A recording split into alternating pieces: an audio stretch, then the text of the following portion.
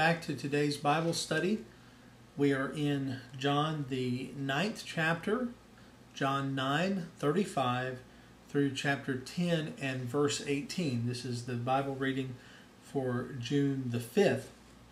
And I want to focus on something today that um, is very important. It, it may seem a little bit controversial, but it is a very important doctrine that we need to understand if, if we're to understand the fullness of Revelation.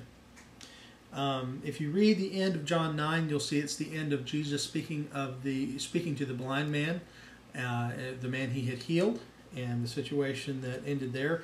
And then uh, he begins to speak with some Pharisees. And in chapter 10, he is speaking to the Pharisees about his sheep, him knowing his sheep, and his sheep knowing him, and he's talking to them um, about the relationship that he has with his people and how they are not his people. They are not believers. They are not of his sheep.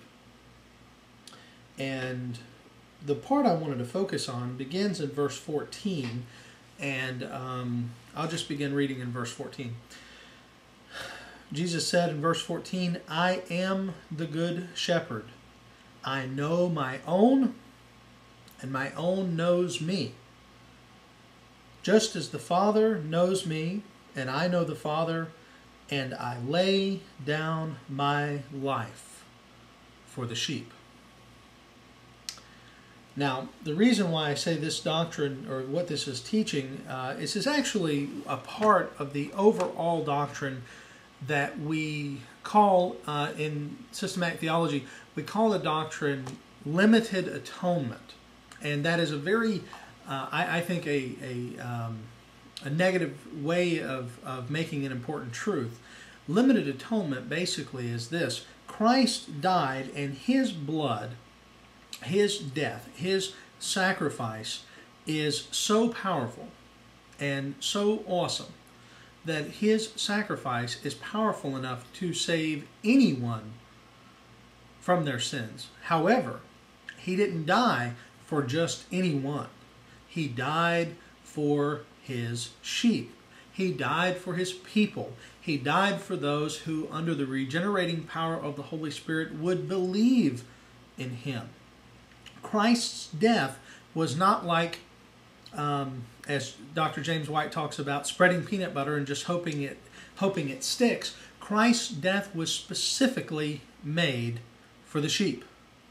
It was specifically made um, for believers, for those who would believe on Jesus Christ. He said, I lay down my life for the sheep. Now, we have to understand again by saying we have a limited atonement, we are not limiting Christ's atonement in its power. Heaven forbid. What we are limiting it is in its scope. We believe that Jesus died particularly. That's why I don't like the term limited atonement. I like the term particular redemption. Christ died and his the power in his sacrifice again is immeasurable and it's infinite.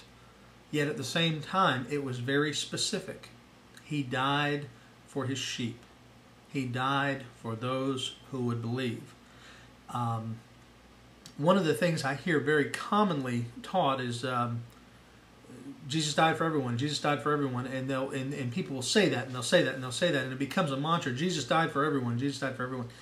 The problem with that, though, is if Jesus died for everyone specifically and particularly in a redemptive sense, then no one would go to hell.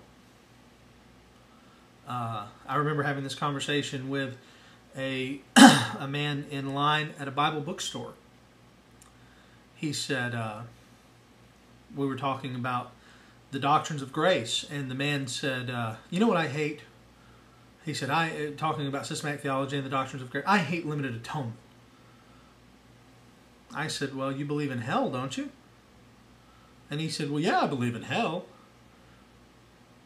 I said, Then you believe there are some people who the atonement of Christ will not be applied to.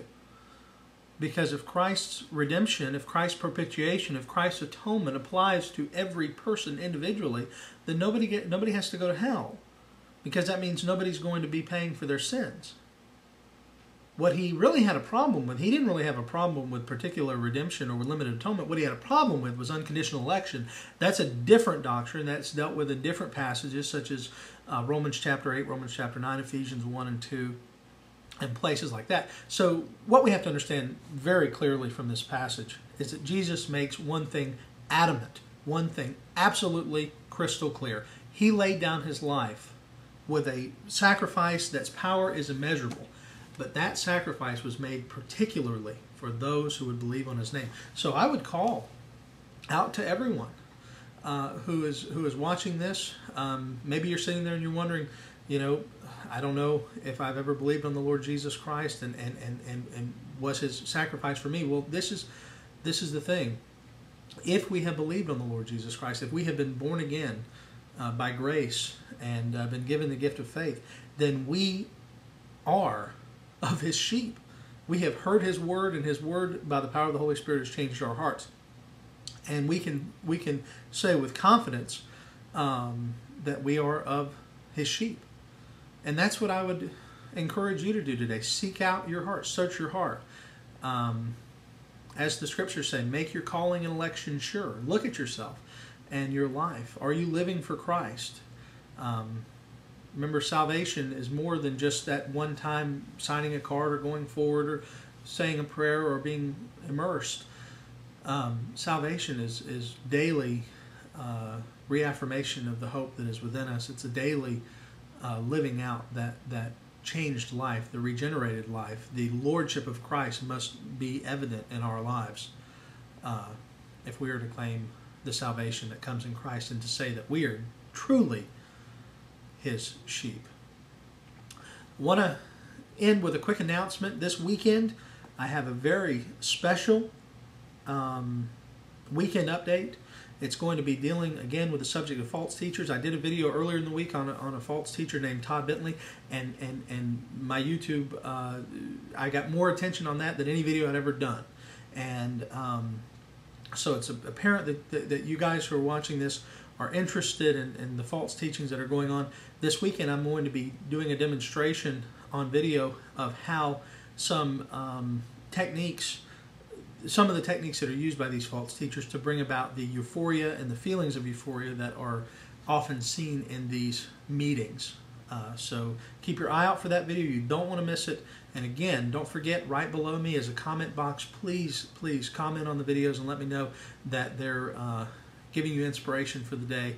And um, if you have any questions, especially on the doctrines that we talked about today, please shoot me an email, mkfoskey at yahoo.com. God be with you, and I hope you have a wonderful day. And I hope that it's a day that glorifies God and that we all seek to live days like that all the days of our lives.